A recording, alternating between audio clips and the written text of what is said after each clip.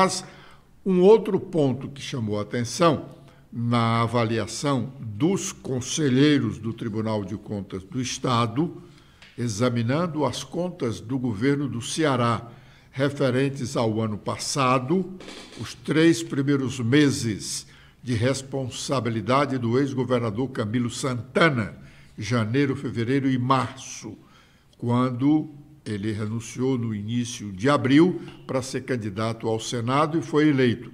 E quando ele renunciou, assumiu efetivamente o governo a vice-governadora Isolda Sela. Então, os nove meses, os nove últimos meses do ano passado, as, as contas são de responsabilidade da ex-governadora Isolda Sela.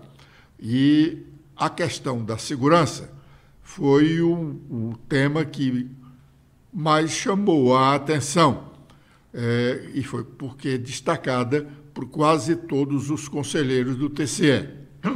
O relator das contas do ano passado foi o conselheiro Alexandre Figueiredo.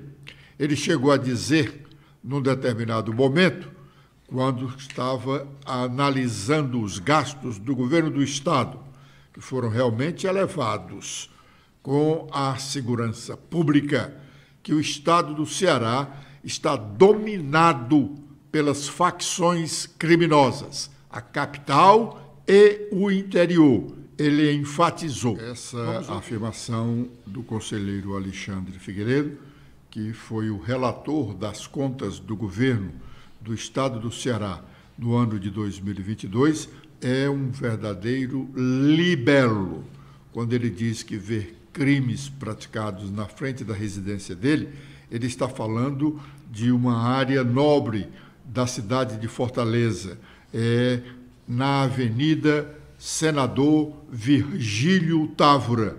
Quando ele fala é, em frente ao, aos estabelecimentos comerciais, são estabelecimentos comerciais de importância que tem aqui nesse trecho da Avenida Senador Virgílio Távora.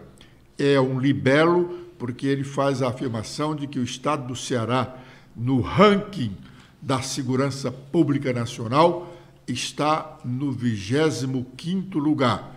São 27 unidades da federação, 26 estados e o Distrito Federal.